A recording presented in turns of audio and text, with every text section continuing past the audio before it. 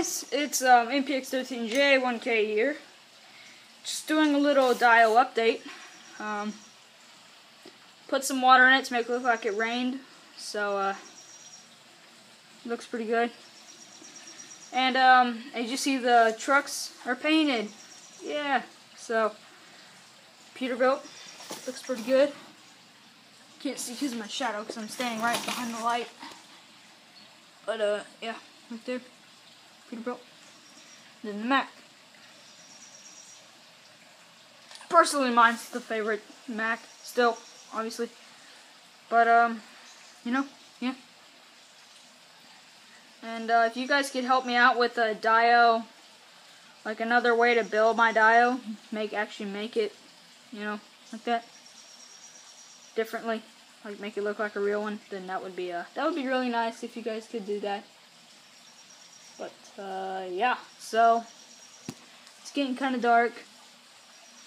It's 8:45, so I'm just gonna go out of here in a few minutes. Got some barrels and um, dang it, why does the light always have to be behind me? And I clean my garage, so it's I mean not clean like wet it. There's my dog, but it's really wet, so um yeah.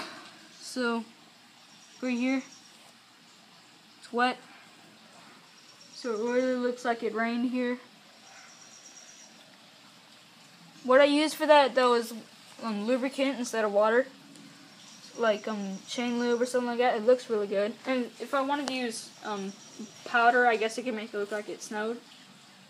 So, you know, yeah. So I guess I gotta go. My mom said I have to do freaking laundry. I don't know why, but laundry, lol. But um, yeah. So I'm 12. I'm not, you know, 20, 10, whatever you thought I was. I'm 12. But uh, yeah. So I'll do a review on these later. And uh, got a guy right there. Right there. But, uh, yeah, so that's about it. See you guys.